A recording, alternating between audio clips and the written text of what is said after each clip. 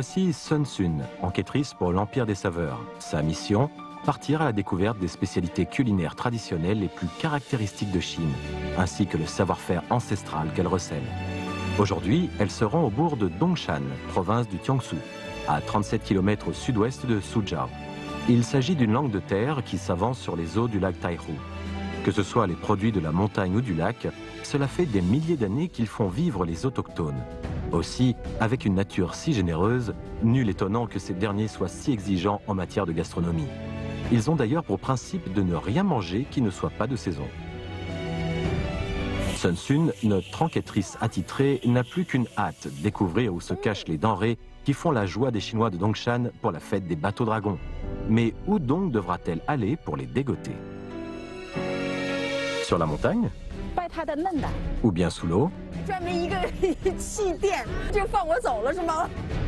La voilà partie pour une cueillette vraiment pas comme les autres et pour toujours plus de défis. Pourra-t-elle venir à bout de son enquête?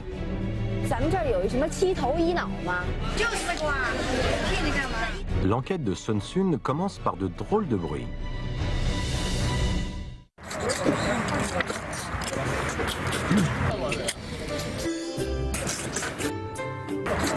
Lèvres en avant, on fait le vide avec la bouche et on aspire bruyamment. Chaque année, entre le printemps et l'été, toutes les ruelles de Dongshan résonnent de ces étranges bruits de succion. Mais que gobent-ils donc ces Chinois de Dongshan au point d'en oublier leurs bonnes manières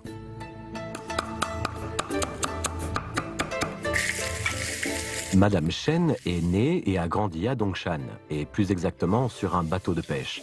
Dès l'âge de 8 ans, elle a commencé à cuisiner pour toute la famille, et depuis lors, elle n'a jamais cessé. Dans le vieux bourg, elle est d'ailleurs considérée comme un excellent chef en gastronomie campagnarde, et il faut réserver au moins une semaine à l'avance pour goûter à sa cuisine. Par contre, c'est elle qui décide de ce que vous mangerez suivant les produits de saison, ceux qui sont les plus frais. En bref, Madame Chen maîtrise tous les délices de Dongshan, Pourra-t-elle aider Sun Sun à en savoir plus sur ces étranges bruits de succion?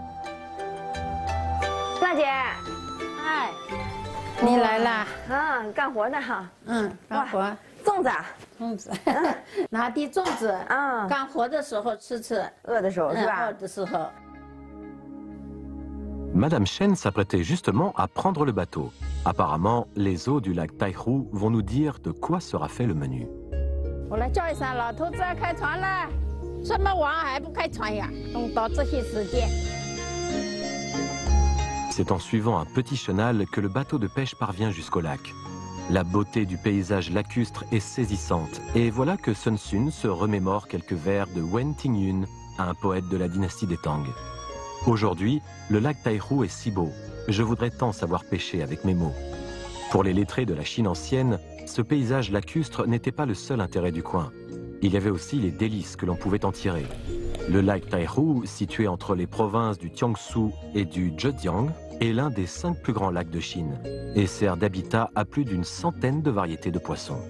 Il suffit donc de connaître les coins particulièrement poissonneux pour être assuré d'avoir une pêche quasi miraculeuse. 好像不是特别难，有这工具就挺好弄的，就直接扎在里头就行了，是吧？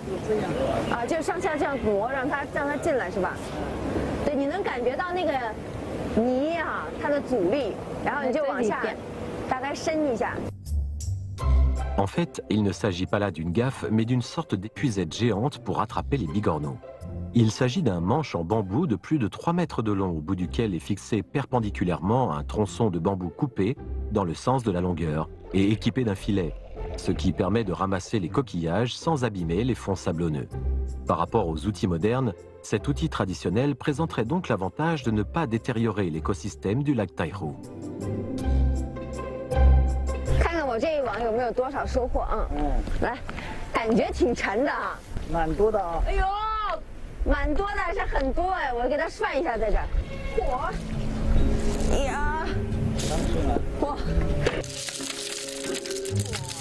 我这个是老头蚬。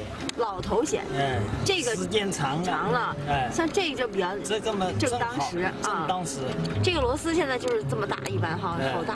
是不是这个螺丝嘛，两年也就要这么这么大。两年长那么大。哎，这个水草嘛，我们养鸭子。养养鸭子。养鸭子，红花蛋。对啊。所以其实真的是太湖里面都是宝贝哈。嗯，太湖里都是宝贝。En fait, en cette saison, ce sont les beaux bigorneaux bien charnus qui sont les vedettes des menus. Ces petits gastéropodes à coquilles spiralées aiment rester sur les fonds vaseux du lac. Ils se nourrissent de la peau de certaines plantes aquatiques et sont très exigeants sur la qualité de l'eau, ainsi que sur sa température qui doit être impérativement comprise entre 20 et 25 degrés. En deçà ou au-delà, ils ne s'alimentent plus. Ainsi, le lac Taihu, dont les eaux sont si limpides, est un lieu idéal pour les bigorneaux qui prospèrent tant par leur nombre que par leur grosseur. Pas étonnant alors que l'on puisse entendre tant de bruit de succion dans les parages. Pour déguster les bigorneaux sans mauvaise surprise, il faut bien sûr tout d'abord les faire dégorger. Madame Chen nous fait une petite démonstration.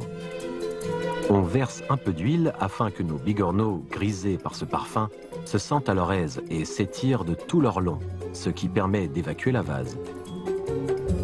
Néanmoins, le moment de les aspirer n'est pas encore venu.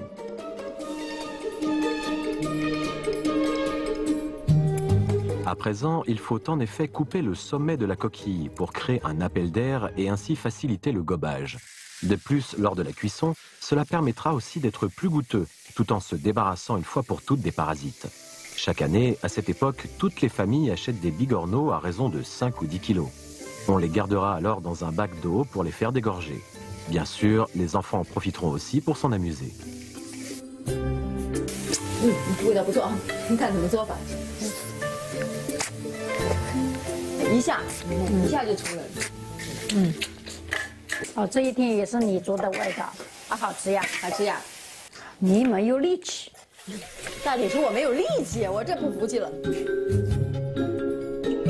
Aspirer des bigorneaux est une joie sans fin et seuls ceux qui savent les gober sont en mesure de le comprendre véritablement. Malheureusement, Sun Sun ne fait pas partie de cette catégorie de personnes et malgré tous les efforts que déploie notre gastronome, l'échec est total.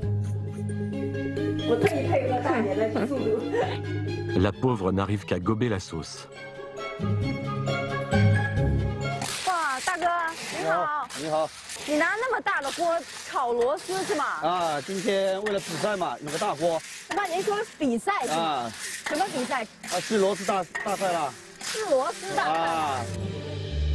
C'est la toute première fois que Sun Sun entend parler de ce genre d'événement.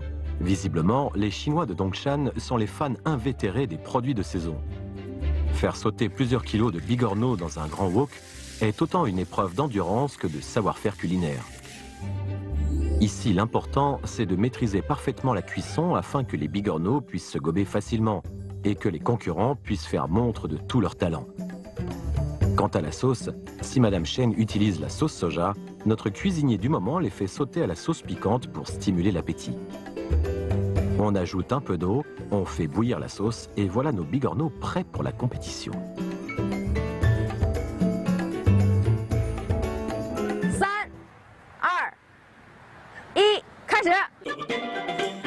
La règle est simplissime. Homme ou femme, jeune ou vieux, c'est celui qui en mangera le plus en une minute chrono et qui sera déclaré vainqueur. C'est parti. Et voilà que s'élève tout un concert de bruit de succion.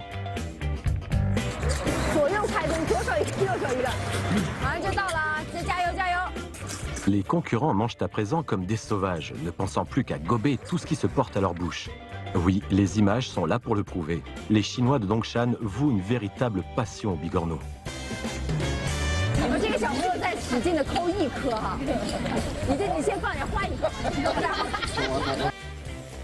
Les bigorneaux sont donc à l'origine d'une compétition qui prend même des allures de fête locale. On s'amuse et on s'encourage à qui mieux mieux. Ici, les bigorneaux ne sont pas juste un produit de saison comme un autre. Ils sont ni plus ni moins l'une des saveurs phares de la culture gastronomique locale. 里的壳是最多的。来，三位大哥先告诉我好不好吃？好吃。要是再往下拖，还能拖得动？还可以。还可以啊。要一定要有裂的。是吧？不裂不行的。你平时天天吃吗？是，天天吃。听名之前我天天都吃。Devant ces bigorneaux, Sun Sun a un sentiment d'échec. Mais maintenant qu'elle connaît un gobeur de bigorneaux aussi redoutable, elle a bien envie d'en savoir plus sur sa technique.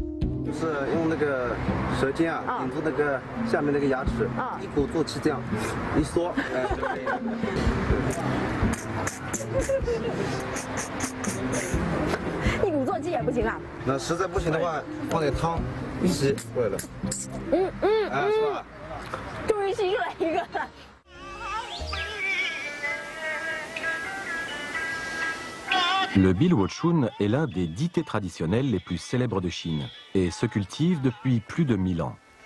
Dans le temps, le bourg de Dongshan était justement particulièrement renommé pour sa production de bilwochun. À la saison de la cueillette, tout le monde se met au travail. Hommes, femmes, vieux ou jeunes, ils déploient toute leur énergie pour rentrer la récolte principale de l'année. 500 grammes de produits finis correspondent à plus ou moins 70 000 pouces de thé, ce qui signifie que les cueilleurs voient passer chaque jour entre leurs doigts des dizaines de milliers de pousses. Dès que le soleil se lève, les paysans grimpent sur les coteaux pour commencer la cueillette.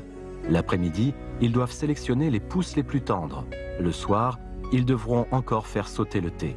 Bien que ce travail soit pénible, ils tiennent toujours à le faire à la main, refusant de faire sauter des pousses qui n'ont pas été cueillies le jour même. Mais aujourd'hui, Sun Sun ne compte pas nous faire découvrir la saveur du bilwochun. Elle s'intéresse plutôt à la cuisine familiale qui fournit l'énergie indispensable aux cueilleurs. Une cuisine rapide, facile et qui donne un plat tout à la fois de viande, de légumes et de riz. Alors allons vite découvrir de quoi il s'agit.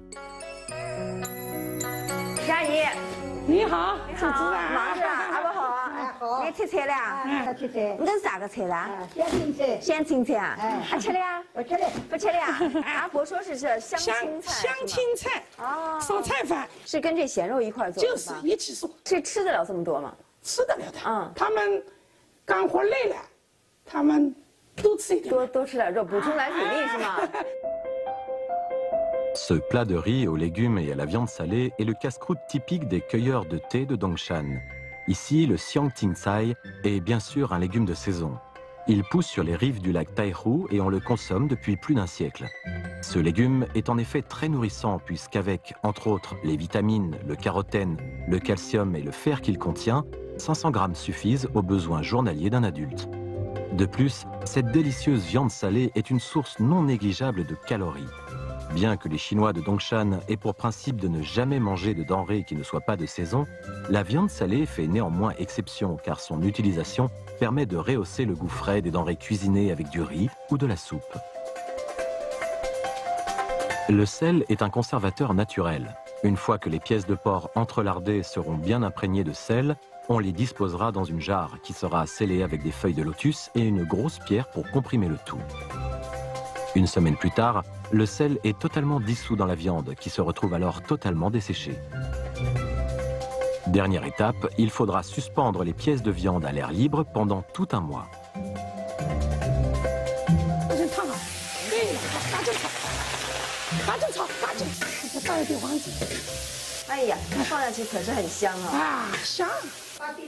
Ah, 啊，一道在那吃饭。哎呦，阿婆说这要多放点菜，让我们摄制组也一起在这吃。是的，是的，太好了。我们一直吃这个饭呀。你们一直吃这个？放在这里，都是吃这个饭呀。这吃这个饭，你小时候也吃吗？哇，我们在家吃啊。啊。一一一起早饭嘛，便当的。便当方便啊。你喜欢吃吗？你喜欢吃。喜欢吃的啊。这米淘好了，直接放进去。这就是生米是吧？你搅，你搅。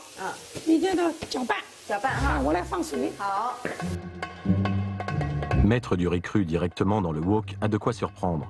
En effet, on aurait pu penser que pour ce riz aux légumes et à la viande salée, on utiliserait du riz bouilli de la veille, comme c'est le cas pour le riz cantonais. Mais non, nous sommes ici en terrain connu. Il ne suffit pas de faire sauter les ingrédients, il faut encore passer du temps à les faire cuire à la vapeur. Une méthode qui donne des grains de riz aussi savoureux qu'élastiques. 哎呀，香，好吧，好香啊！这个这个味道对我来说简直太熟悉了，这种香味。我们无锡管这叫尾子，尾子呀，你们也叫尾子是吧？就这块金黄的，你知道吗？就是我的最爱。我真的，我看到它，觉得只有这种锅才能做出这种尾子。尾子啊！哎呀，好香啊！我看着就觉得，嗯，好香呀。外面吃饭能吃的，觉得真的只是想哭了那种感觉，你知道吗？哎呀，好香啊！就是那种焦焦的，然后又带着菜、饭，还有小时候的那种回忆。哎呀，这对我来说真的太难得了。味道怎么样啊？太香了。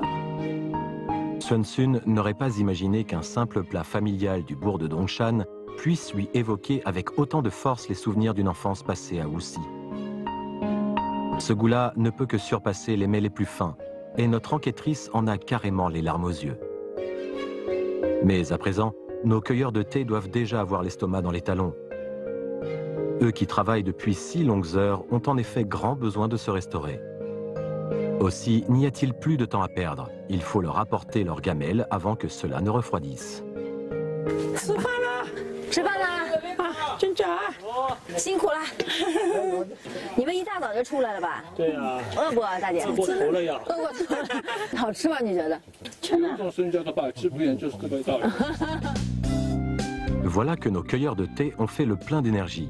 En les voyant manger de si bon appétit, Madame Che est aux anges. Son fils nous explique qu'un coup de froid printanier a détruit ce qui devait être la première récolte et que, par conséquent, la production connaîtra cette année une baisse certaine. Il a pris quelques jours de congé pour rentrer chez lui et donner un coup de main. Tout ce qu'il espère à présent, c'est réduire les pertes au maximum. À Dongshan, ces plantations de thé ont nourri des générations entières. Et cette terre si généreuse, c'est avec leur sueur que les gens d'ici la remercient. Mais avec le thé Bilwochun, nous ne sommes pas au bout de nos surprises, puisqu'il pousse aussi bien sur les montagnes que sous l'eau. Et oui, pour cueillir cette variété particulière, il faut avoir autant de technique que de courage. Poursuivons vite notre enquête pour en savoir plus sur ce thé bien mystérieux. Ye Yutuan, trentenaire, a fait ses études à l'étranger. On vous dira ici que si vous voulez du Bilwochun aquatique, il vous faudra d'abord passer par lui. Il est vrai que lorsque l'on désire en savoir plus sur cette plante, faire appel à un expert est encore la meilleure option. Tandis que notre petite embarcation vogue au fil de l'eau, on peut admirer le long des rives des théiers et des néfliers du Japon. Bien sûr, les cueilleurs de thé ne sont jamais très loin. Mais alors que le cours d'eau s'élargit enfin, Sun Sun aperçoit soudain des personnes qui semblent fouiller les profondeurs de l'eau. Serait-il en train de cueillir le fameux Bilwochun aquatique? 的是这个所谓的水下碧螺春是吗？是啊，你看那姿势。对啊，这个姿势看起来也真是挺辛苦的哈，一直这样就得趴着。我以前采菱角的时候，就坐在那个盆里头就这样采还可以，这个还得这样趴着是吗？对对对，这是我们这边采这些东西的一个标准姿势。天哪！Le Bilwochun aquatique est-il donc si précieux pour que les gens acceptent ainsi de passer leur journée à plat ventre dans une barque Monsieur Ye demande à Madame Li de former notre enquêtrice à la cueillette aquatique. Pour faire du bon travail, encore faut-il avoir de bons outils. Mais en voyant l'équipement, notre enquêtrice est soudainement prise de doute.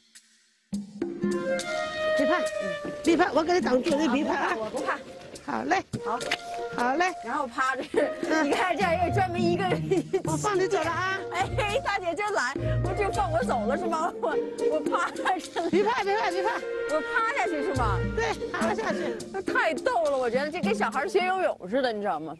趴下去，两两个手放在水里滑滑。哎呀，好凉啊，这个水。水是挺凉的。Depuis qu'elle est enquêtrice du goût, Sun Sun n'a jamais connu de cueillette aussi difficile. Couchée à plat ventre entre deux planches de bois flottants, avec ses deux mains qu'elle utilise comme des rames, la pauvre n'arrive qu'à faire du surplace. Elle ressemble ni plus ni moins à une naufragée perdue au milieu de l'océan qui n'espère qu'une seule chose, qu'on vienne la secourir.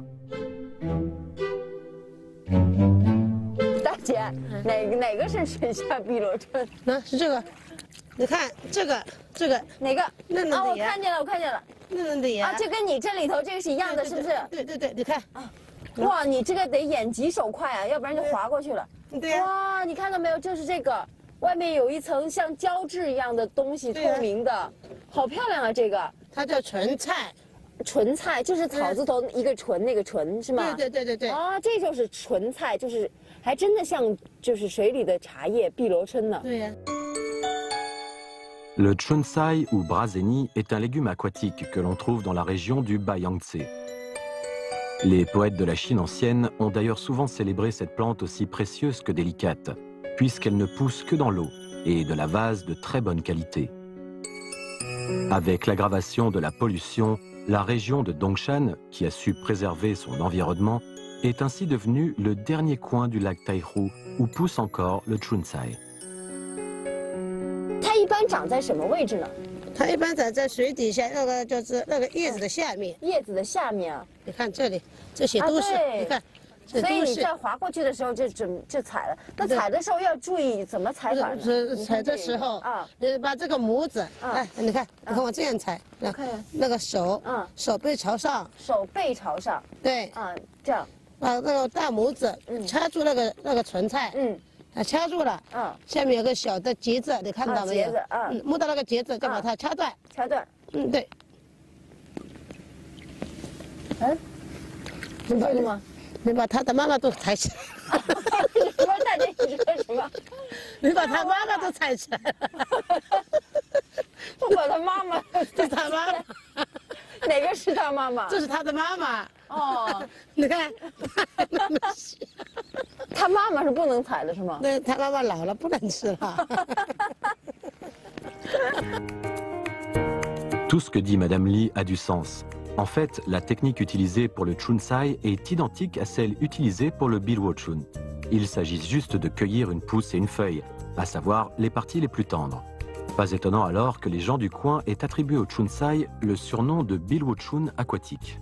Mais qu'est-ce qui rend cette petite pousse si précieuse? En fait, le secret se cache au dos de la tige et de la feuille, où l'on peut trouver des protéines gliales, des polysaccharides, ainsi que des acides aminés. De plus, comme ce légume est riche en zinc, les Chinois de Dongshan le désignent aussi sous le terme maître du zinc. Bien que la cueillette de ces plantes soit plutôt pénible, elle se fait pourtant dans la bonne humeur.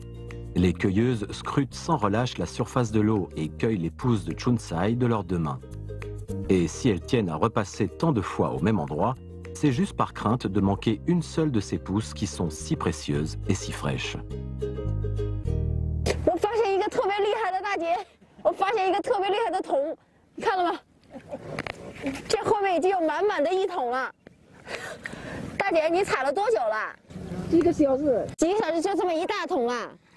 你看了吗？这后面已经有满满的一桶了。大姐，你采了多久了？几个小时。几个小时就这么一大桶啊？你太厉害了！您多大年纪啊？啊，六十六，六十六十三。六十三了。六十三，您采了多少年了？是不是啊？啊，二十年了。二十年了。最多再采两年就不采了。再采两年不采了，为什么？采不动啊。 Madame Lee m'explique qu'ici, la plupart des femmes qui cueillent le chunsai ont plus de 50 ans. Elle-même avait une vingtaine d'années lorsqu'elle a commencé ce genre de cueillette. Tout au long de la période de la cueillette du chunsai, soit pratiquement six mois, ces paysans qui travaillent au fil de l'eau peuvent ainsi retirer des revenus stables.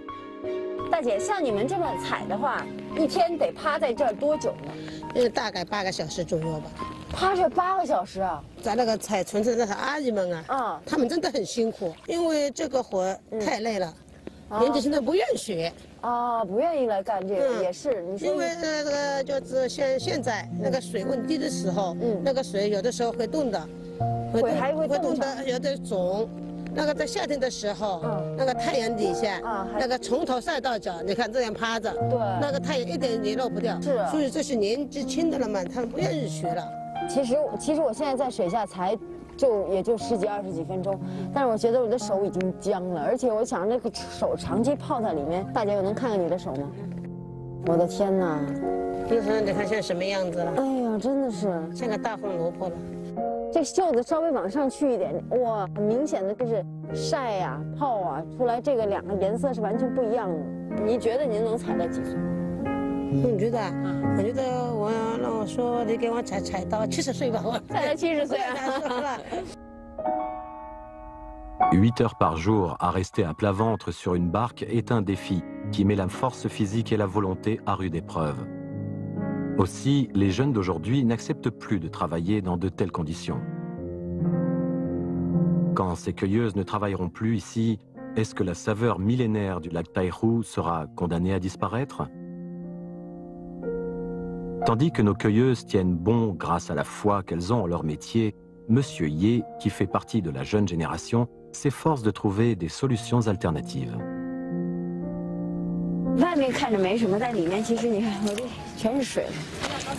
全全都全湿了。但是我只是在里面这么一小会儿啊，就也就半个多小时，一个小时。但是大姐们每天从早到晚得八个小时。你知道每天他们几点钟开始采摘春菜吗？几点？每天早上四四五点钟就开始了。天，真的是。看你这么辛苦，我犒劳一下你。嗯，今天你采的春菜，这是，等会儿我烧一个美味的春菜汤。这明明是我犒劳你，这是我采的春菜吗 ？Les pousses de chunsai fraîchement cueillies sont toutes tendres. Et à présent, Monsieur Ye va me faire voir de quoi il est capable en cuisine.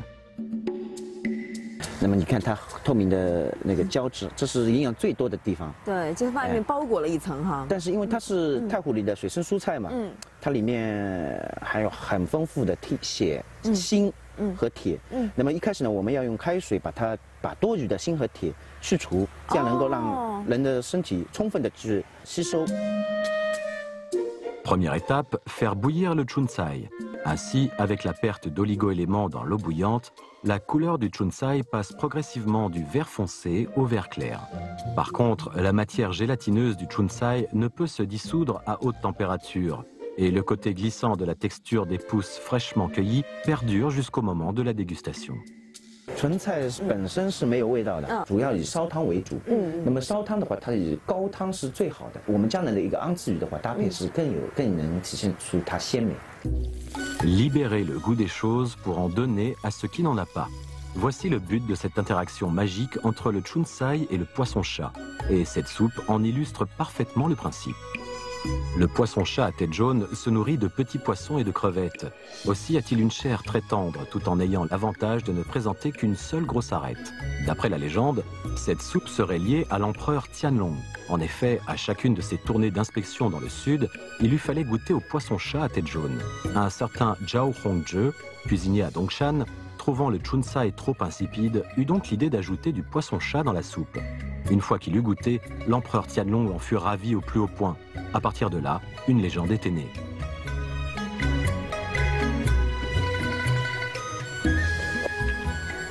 怎么样？等于把鱼里面的那个鲜味都吸收进来了，是吧？但是呢，这个纯菜本身那种清香又没有失掉。最可爱的一点还是它那个特别 Q 的那种 滑滑腻腻的口感，你知道吗？配上这个鱼的鲜味，简直绝了。哎，其实像做这个纯菜的话，现在咱们东山还多吗？现在整个东山就我们一家在做加工包装纯菜这个生意嘛。哦，为什么只有一家？就是因为它采摘很辛苦，嗯，而且又要很多人力去管理，嗯，那么现慢慢的、慢慢的，纯菜的资源又越来越少，嗯，现在就剩下我们一家了。Monsieur Ye nous explique que sa famille est productrice de chunsai depuis la génération de son grand-père. Alors que son grand-père en plantait et que son père se chargeait de le traiter, Monsieur Ye doit aujourd'hui résoudre les diverses difficultés liées à la récolte du chunsai, afin que puisse perdurer ce produit local ultra frais. Nos cueilleuses viennent de finir leur journée de 8 heures sur l'eau, et chacune revient avec un seau bien rempli. Celles qui ont démarré leur journée à 5 heures du matin pour la terminer à 2 ou 3 heures de l'après-midi prennent enfin leur premier repas. Une gamelle de riz blanc avec un peu d'eau chaude, quelques légumes salés. Des saveurs simples à l'image de leur vie. C'est avec du cœur à l'ouvrage et le sourire aux lèvres que les Chinois de Dongshan ont décidé de protéger cette précieuse fraîcheur saisonnière, symbole de leur pays natal.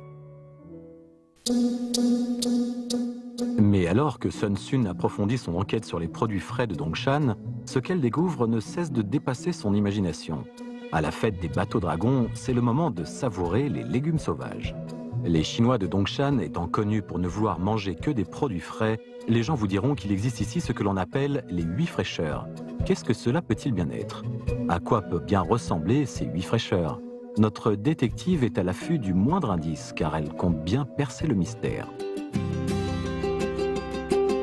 Ce marché paysan est un reflet fidèle de ce que mangent les gens du coin. Sun Sun pourra-t-elle y trouver la piste qui l'amènera vers les fameuses huit fraîcheurs? Peut-être que ces vendeuses de légumes pourront l'aider?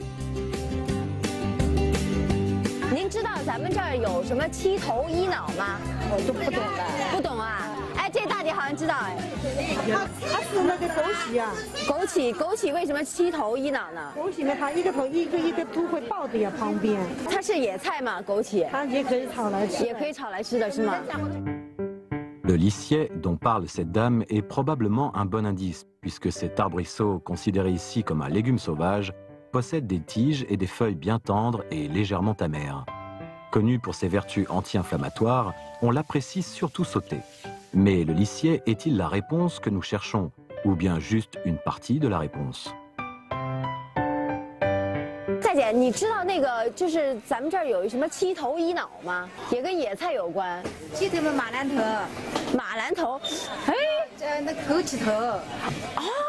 针头，青蚕头，啊，那，这种的豆苗呢，蚕头都啊，真的吗？难道就是这个吗？就是这个哇，骗你干嘛？那一脑一脑是什么呢？一脑我不知道，田野里有很多人在采，你去问问他们吧。采什么野菜是吗？是啊，啊，好，谢谢你大姐啊，重要的线索。Les pousses de lissier, de Calimeris indica, de Cedrella de Chine, de fève ou de luzerne sont tous effectivement des légumes frais et saisonniers de Dongshan. Cette marchande nous a sûrement mis sur la bonne piste. Suivant ses conseils, voilà que Sun Sun se rend directement dans les champs alentours. Va-t-elle enfin découvrir la véritable identité des huit fraîcheurs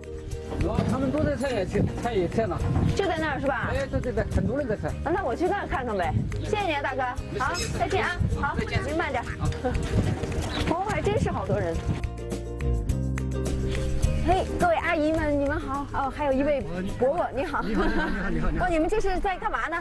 我们在采野菜呀，刚您说的什么牡蛎的，我听懂了，马兰头是吧？木啊，您采的这个。对对对对啊，干了。对对对对对，这个已经野生的就是这样对呀，，很这就很小很小的，不这么大，凉味有一种清凉的味道的。我也很喜欢吃，就是凉拌哈，对啊什么都可以。Au Jiangsu et au Zhejiang, les pousses de Calimeris indica entrent souvent dans la composition des plats saisonniers. On les fait bouillir, on les hache et on les mélange à du tofu fumé.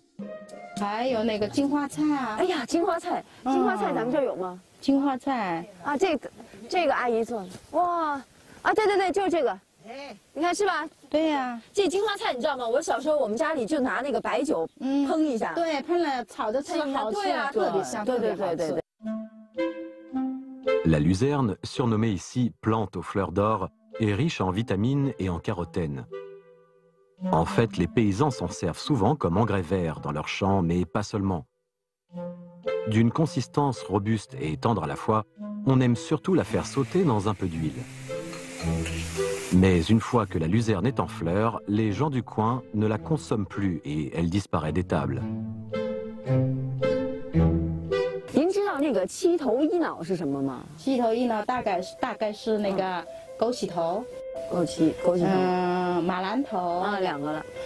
嗯，还有香椿头、金花头、豌豆头，对，还有小蒜头，小蒜头，还有一个荠菜是吗？哦，荠菜头，对吧？对啊，对对对对，一脑是什么呀？一脑是。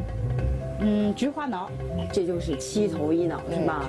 哦，现在这些野菜东西啊，像年纪轻的人都不知道了，都是到小菜场去买那种现成的。什么七头一脑？对，什么叫七头一脑？只有我们上上点年纪的人嗯还才知道，有的也说不上来。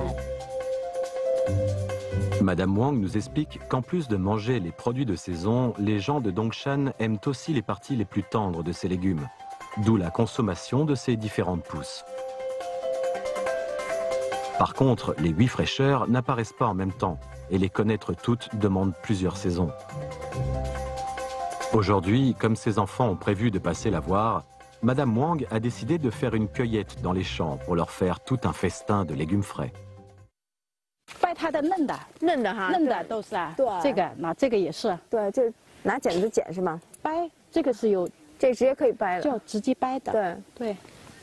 这小的嫩的哈，小的嫩的呢，啊，这也能就可以能闻到那个味儿。香其实乡村那个，就好多人就吃不惯那味儿，但是好多人特别爱这个味儿，对，喜欢是吧的人特别喜欢，对对，不喜欢的人就没错，就跟那个香菜似的一样。对对对，反正这个新鲜野的就卖的还挺贵的哈，很贵。对这也可以哈四十块一斤大概。四十一斤呢哎，那真是。对啊。Les gens de Dongshan vous diront que les pousses de cèdre-là de Chine empêchent de tomber malade. Et d'ailleurs, ils ne peuvent tout simplement pas s'en passer. Après les avoir ébouillantés, les pigments des pousses se dissolvent, ce qui change le rouge en vert. Pareillement, les nitrates et les nitrites nuisibles à l'organisme sont éliminés. Que ce soit dans le nord ou dans le sud du pays, les pousses de cèdre-là de Chine sont généralement consommées avec des œufs. Mais voilà que l'homme du groupe vient de trouver une rareté fort appréciée par ailleurs. 哎，对啊是吧？哎对对对对其实然后剥了这个壳之后，它就那么一丁点儿了，还有我们这里剥壳壳，跟你们说是这样包的，难掰的。对，是这样，我们是这样。从上面撕下来。对对，其实真的是外边那一层那么厚对哈，里边就那么嫩的一否则一小颗难哇，其实就那么一点儿，嗯多宝贵啊！这样这么这么大，现在看上去很嫩了，嗯，好像有点不舍得摘下来。是啊等它长得这么大一点，不容易啊，它长出来。是啊长得高一点，大概跟这个差不多大十五公分左右，这就是哎，对，到十五公分左右，大家摘下来了。Les pousses de bambou sont riches en protéines, en vitamines et en fibres. Quant à son goût, il est bien supérieur à celui des grandes pousses de bambou.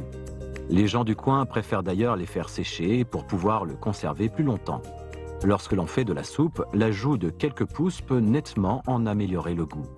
À présent que les huit fraîcheurs de Dongshan n'ont plus de secret pour nous, l'invitation de Madame Wang est une belle surprise pour Sun Sun. Verra-t-on chez Madame Wang des fraîcheurs de saison encore plus irrésistibles? On pourrait penser que ces légumes sauvages se font surtout en salade ou bien se consomment sautés, mais Madame Wang va nous étonner encore une fois. En ce moment, c'est en effet la saison des moules d'eau douce. Ayant accumulé depuis deux ans des nutriments et des calories, ces mollusques bien gras n'ont plus alors qu'à offrir toute leur fraîcheur aux gourmets. Madame Wang, elle, les utilise juste pour mettre en valeur les légumes sauvages.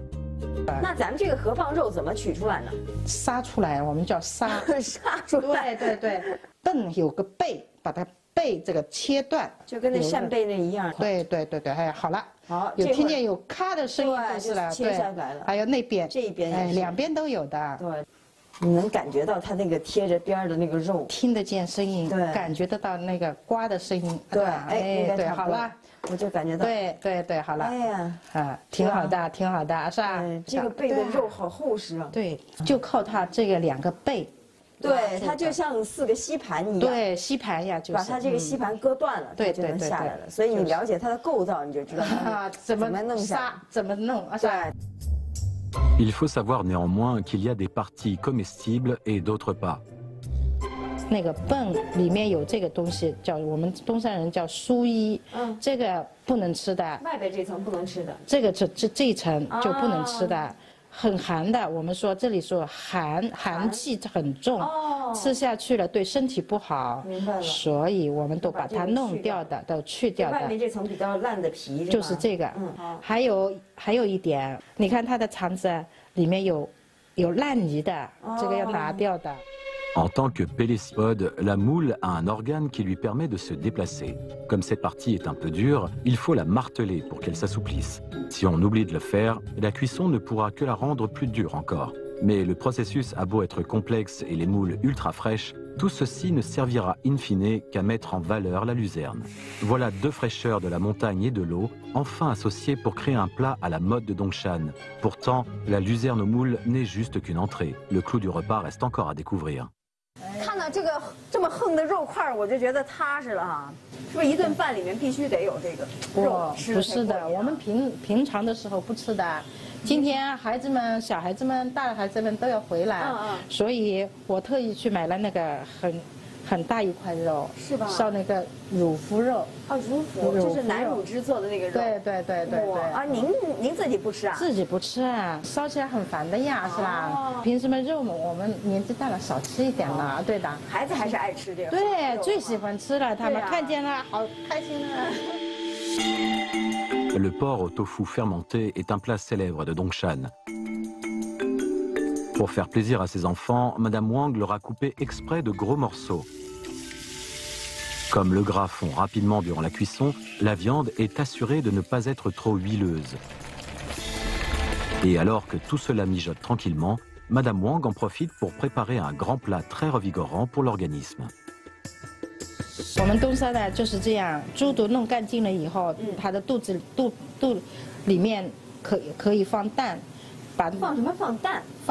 蛋，把放什么放蛋放蛋，哇，鸡蛋鸭鸭蛋都可以，是吗？对，灌到这个灌到这个猪肚里，民间有这样的说法的，啊有的身体不好的，呃，吃了那个这个这个菜，身体会健强壮的啊，是吗？健健呃健身体的，对，这个做法还真是头一回见啊。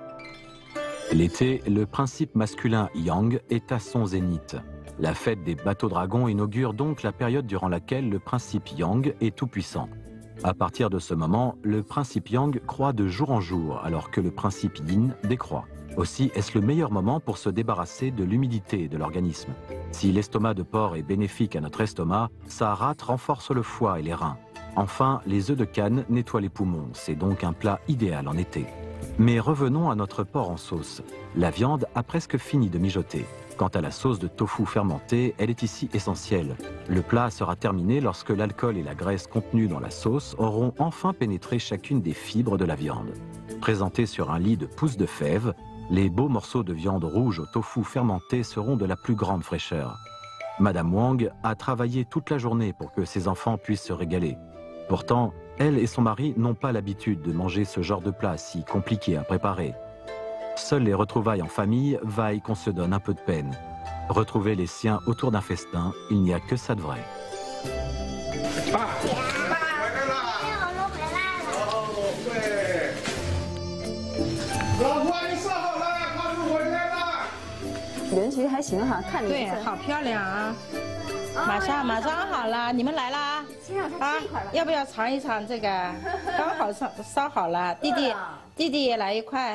嗯，好好吃的，嗯，好吃吗？嗯，好吃，嗯，真的好吃。Tout à la joie des retrouvailles, cette journée de dur labeur est totalement oubliée. Les saveurs de la nature nourrissent aussi les cœurs. 是吗？每年到这个时候，我妈都会帮我们准备这些是吗？时令菜，对不对？哎，哪一个是你最喜欢吃的？这个哪个？枸杞头啊，就是清肠，吃下去很清凉，嗯，然后有一股甜味，嗯嗯嗯嗯。你再尝一尝这个马兰头，这是我的最爱，马兰头拌香干的。嗯，哎呀，就是这个一股特别的清香味，清香味，然后就拿一点点油这样拌一下，就特别香哈。嗯，你自己在家做饭吗？不做，从来不做。那是在家也不会做。老公做吗？嗯，对他做。是吧？你会做这些野菜吗？我做的做的不好吃。是吗？那你你们在家做什么菜？方便的菜。你们自己烧的菜，你不知道烧什么是吧？老妈都会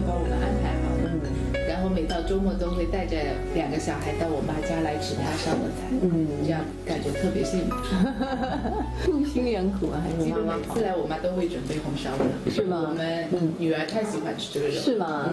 对啊，看着他们吃，好像我心里舒服，比自己吃还开心啊！对对对，比自己吃还开心。Une fois sur la table, les plantes vertes naturelles, les bons petits plats de maman. les produits de saison nés de la terre et de l'eau, tout cela se transforme en bonheur. Sur les rives du lac Taihu, au pied des monts boisés, chaque saison nous donne à manger une grande variété de fleurs, de fruits, de poissons ou de coquillages. Dongshan se montre d'une générosité inouïe avec une palette de fraîcheur quasi infinie. Les Chinois de Dongshan obtiennent tous ces délices naturels à la sueur de leur front, mais pas uniquement. La nature elle-même travaille pour eux grâce au cycle sans fin des quatre saisons.